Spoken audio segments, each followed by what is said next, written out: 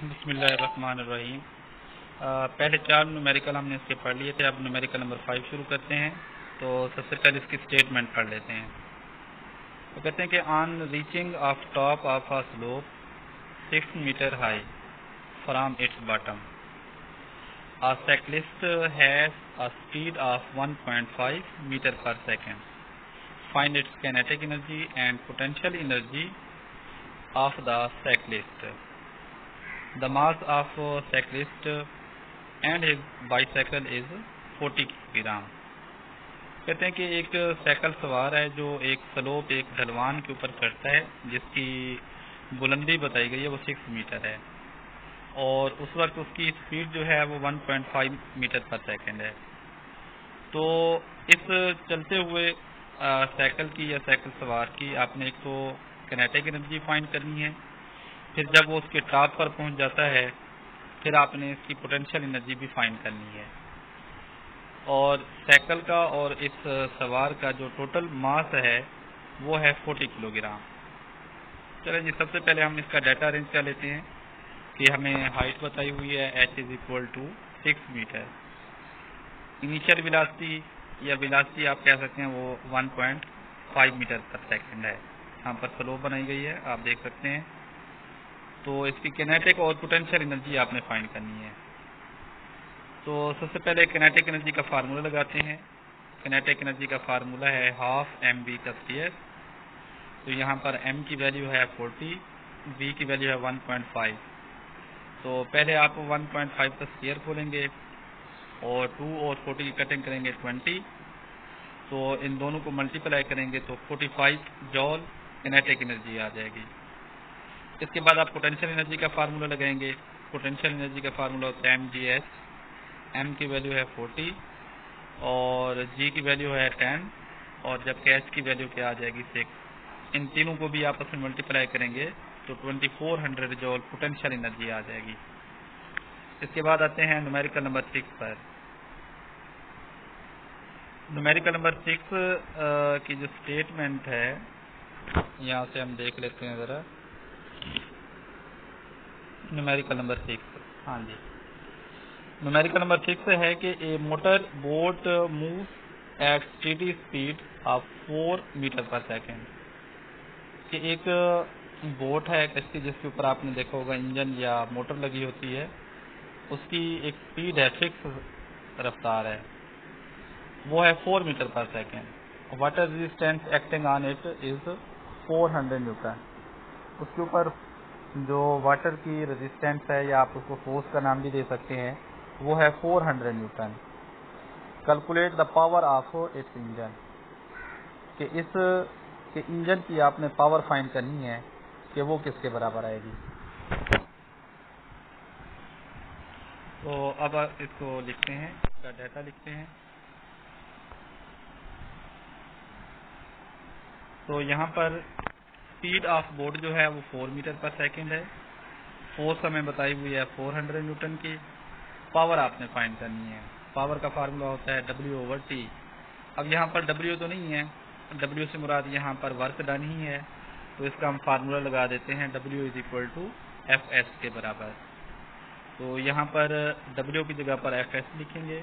यहाँ पर हमने देखा कि अगर हम F को अलग कर लें एस ओवर टी को अलग कर लें तो एक फार्मूला बन रहा है कि V is equal to S over T तो जहाँ पर एस ओवर टी है, वहाँ पर आपने वी लगा देना है।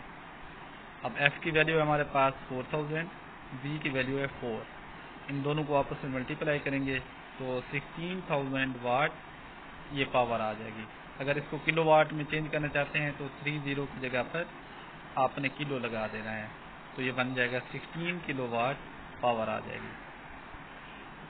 न्यूमेरिकल नंबर सिक्स पर आते हैं कि a man pulls a block with a force of 300 newton through 50 metre कि एक आदमी जो है, एक बुलाक को 300 न्यूटन की फोर्स लगाकर 50 मीटर तक उसको खींचता है। इन 60 सेकेंड टाइम इसको लगता है 60 second find the power use by the him to pull the block इस बुलाक को खींचते हुए इसकी पावर कितना लगी, ये आप बताएँ। तो डाटा अरेंज कर लेते हैं कि एफ़ की कीमत है 300 टाइम है 60 सेकेंड और हाइट जो है, वो है 50 मीटर या डिस्टेंस आप इसको कह सकते हैं। फार्मूला लगाते हैं पावर का formula W is equal to T तो ऊपर वर्क जो है, इसको चेंज करेंगे उसके फार्मूले में। वर्क होता है एफ़ डॉट एस के बराबर ओवर टी आ जाएगा। अब यहाँ पर आप एफ़ को चेंज कर सकते हैं एच के अंदर, क्योंकि डिस्टेंस है। उस सवाल के डाटे के मुताबिक उसका नाम बदल सकते हैं आप। तो अब फार्मूला पावर का बन जाएगा P is equal to F H over T आ जाएगा। इसके बाद नेक्स्ट चलते हैं कैलकुलेशन की तरफ़ इसकी। तो इसमें तमाम आप वैल्यू पुट करें एफ़ एस और एच टी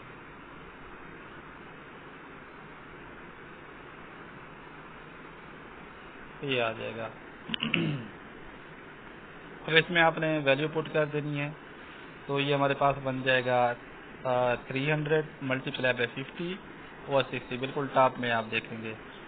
इन तीनों की आपस में कटिंग करते हैं तो पावर हमारे पास आ जाएगी 250 वाट बराबर। इसके बाद आ जाते हैं न्यूमेरिकल नंबर एट पर। कहते हैं कि a man move 25 steps in 20 second एक शख्स जो है जिसका मास जो है 50 किलोग्राम है, वो एक सीढ़ी है, उसके 25 स्टेप्स 20 सेकंड के अंदर ही फलांगता है या उसको क्रॉस करता है। फाइंड हिज पावर उसकी पावर फाइंड करे। ईच स्टेप इज़ 16 सेंटीमीटर कि अगर उसका हर स्टेप जो है, वो 16 सेंटीमीटर का, यहाँ पर आप देख सकते हैं। डाटा बनाते हैं इसका भी सबसे पहले। एम इज़ इक्वल टू आ जाएगा 50 किलोग्राम टाइम है 20 सेकेंड नंबर ऑफ़ स्टेप जो है वो 25 सेकेंड है। तो यहाँ पर हाइट जो है वो 16 सेंटीमीटर है, इसको मीटर में बदलते हैं। तो 100 पे डिवाइड करेंगे तो 0.16 मीटर आ जाए अब टोटल डिस्टेंस आपने फाइंड करना है कि जितना नंबर ऑफ़ स्टेप्स हैं और जितना एक स्टेप की हाइट है, इन दोनों को आपस में मल्टीप्लाई कर। तो 25 five multiply by zero point one six इनको मल्टीप्लाई करेंगे। इसके बाद हाइट जो आ जाएगी हमारे पास, वो फोर मीटर आ जाएगी। अब पावर का फार्मूला लगा देते हैं। तो ये बन जाएगा डब्ल्यू ओवर टी डब्ल्यू की जगह पर आप एफ़ एस लिखेंगे। इसके बाद इसकी वैल्यू पुट करेंगे। एफ़ को आपने तब्दील कर देना है एम जी के अंदर। फार्मूला बन जाएगा M G H over T M की वैल्यू पचास जी की वैल्यू टेन और एच की वैल्यू आ जाएगी फोर और टाइम हमारे पास 20 सेकेंड था। इन तमाम की कटिंग करेंगे तो पावर जो है हमारे पास वो आ जाएगी 100 वाट के बराबर। इसके बाद न्यूमेरिकल नंबर नाइन पर चलते हैं कि calculate the power of a pump which can lift 200 kilogram of water through a height of 6 metre in 10 second वो कहते हैं कि आपने एक जो वाटर पंप है, उसकी पावर को फाइंड करना है।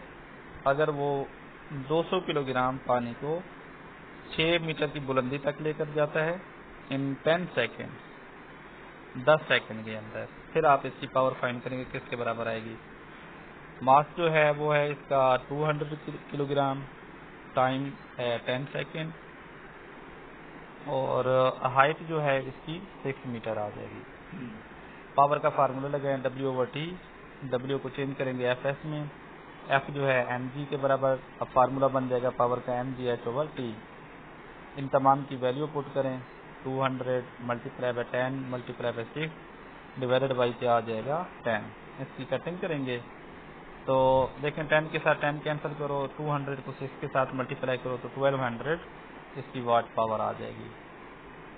इसके बाद न्यूमेरिकल नंबर टेन जो है, ये आपके जिम्मे है, वैसे गैर अहम न्यूमेरिकल है इसको आपने खुद ही ट्राई करना है।